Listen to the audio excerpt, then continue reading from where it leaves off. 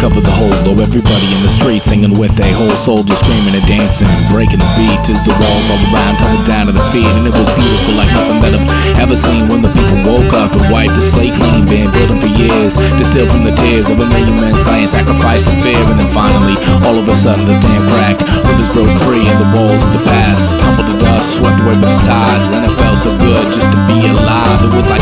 World, it was scared to breathe. And when it all came down, could feel the relief from every living thing, everywhere. And the shadow of Georgia filled the air, and it was beautiful.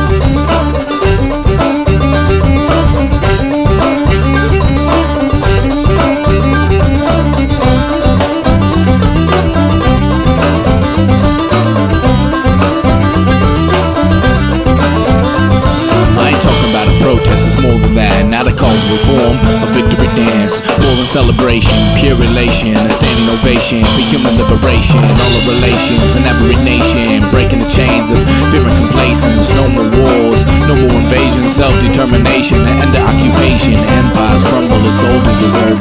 Churches abandoned, people know their worth was always based on a pack of lies. Justice accepts no compromise, and we can finally be who we've always been, free from the fear of hell and sin. And it all begins right here and now. It's just like dancing, we all know how, and it's beautiful.